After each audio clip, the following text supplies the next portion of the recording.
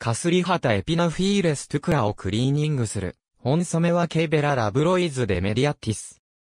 本種は掃除魚の代表的存在として知られる、掃除魚とは、多種の魚の死んだ、皮膚組織や外部寄生虫を食べる習性を持つ魚類の総称。これは、双方が利益を得る生態学的相互作用、すなわち愛理共生の一例として理解されている。ベラハゼシクリッドナマズなど、様々な魚が、掃除行動をすることが知られている。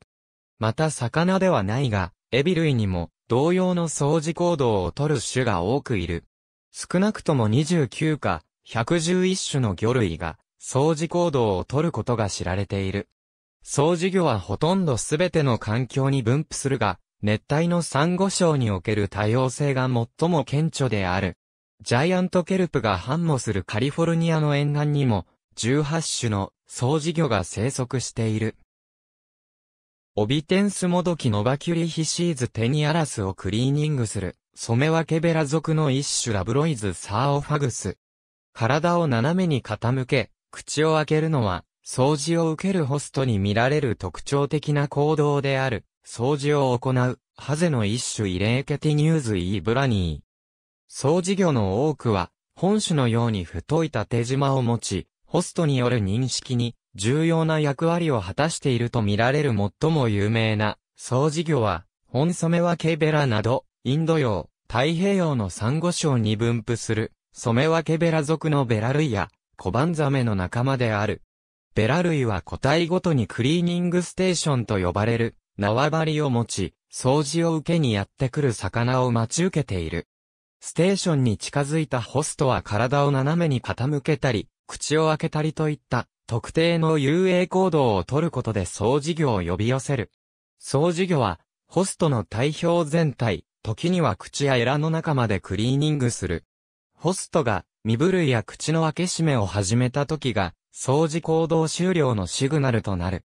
驚くべきことに、通常は掃除魚ぐらいの小さな魚を食べるような大型の捕食魚を掃除する場合でも、掃除魚が捕食されることはない。染め分けベラ類は、ほとんどの栄養を掃除から得ているらしく、水槽での飼育下では十分な餌を得られずに、短期間で死んでしまうことが多い。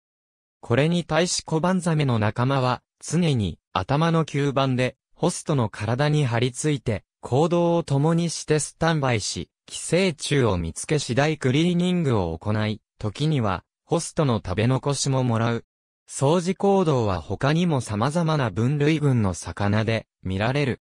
ゴビオソマ属やイレーケティニューズ属などのハゼ類は、西部大西洋で、染め分けベラ類と同じような掃除行動を行っており、これは見事な修練進化の一例である。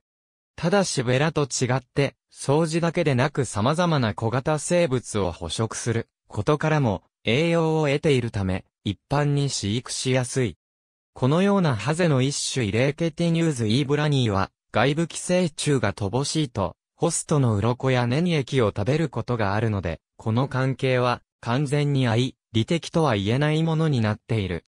それでも、この共生関係が崩れないのは、寄生虫の数が、季節や場所によって大きく異なり、大きな魚にとっての賞味の利益が掃除魚のズルによる損失を上回るためである。掃除共生の興味深い例として、南アジアの寄水域に住む2種のエトレプレス属のシクリッドが挙げられる。このうち小さい方のイマキュレーティスが掃除魚であり、それよりずっと大きいイーサーテンシスがホストとして掃除される。海水魚と比較し、淡水魚には掃除魚が少ない。一例としては、ナマズの一種である、ホワイトライントーキングキャットが魚食性のカラシンの一種、ホプラジャス CF マラバリカスを掃除することが知られている。掃除魚の存在が生態系に与える影響の程度は、個々の環境によって異なると考えられている。主に熱帯のサンゴ礁域において、掃除魚を一時的に環境から取り除く、あるいは新たに追加することで、魚類の行動や多様性に生じる変化を観察する実験が行われているが、その結果は様々である。カリブ海で実施された掃除魚の除去実験では、ホストとなる魚類の減少と寄生虫感染の増加が認められた。一方、ハワイでの同種の実験では、そのような変化は見られず、グレートバリアリーフでの6ヶ月にわたる実験でも、魚の数や種類に影響は観察されなかった。しかし、航海及び、オーストラリアの小規模なサンゴ礁においては、短期的な変動こそなかったが、18から20ヶ月後には、魚類の多様性が著しく低下することが示されている。航海とオーストラリアでの長期実験で最も強く影響を受けていたのは、サンゴ礁の多数の生物に影響を与えるであろう、大型の遊泳性魚類であった。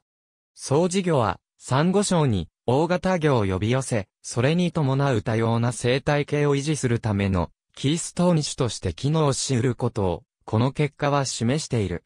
イソギンポ科のニセクロスジギンポアスピドンタスティナイタスや、南ギンポ、プレジャトリームスライノリンコスのように、総事業に擬態することで利益を得る魚類も知られている。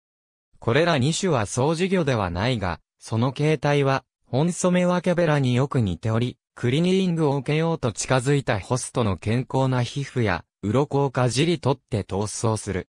ただしこれは飼育下で観察された行動に基づく考えであり、野外調査によれば、ニセクロスジギンポの主な餌は、魚の鱗や皮膚ではなく、魚卵や魚介類であることから、基本的には単に捕食を逃れるための擬態と、みなすべきであるという意見もある。ありがとうございます。